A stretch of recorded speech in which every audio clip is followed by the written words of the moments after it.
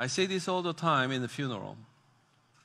Once you die, how much money you have, nobody cares.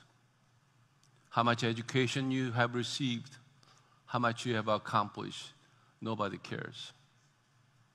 Only thing they care is how much you have loved, how much you have gave, how much you have served, how much you are like Christ. I say this all the time in the funeral. Once you die, how much money you have, nobody cares.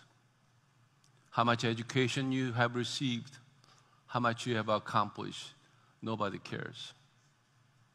Only thing they care is how much you have loved, how much you have gave,